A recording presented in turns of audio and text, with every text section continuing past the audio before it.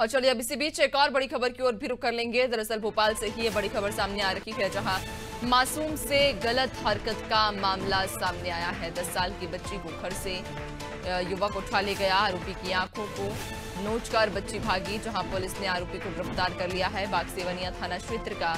ये पूरा मामला बताया जा रहा है आप बता दें कि मासूम से गलत हरकत का ये मामला सामने आया दस साल की बच्ची को घर से उठाकर एक युवक अपने साथ ले जा रहा था तभी बच्ची ने आरोपी की आंखों को नोच कर अपनी जान बचाई और वहां से बच्ची भाग गई जिसके बाद पुलिस ने आरोपी को अब गिरफ्तार कर लिया है बाग सेवनिया थाना क्षेत्र का ये मामला बताया जा रहा है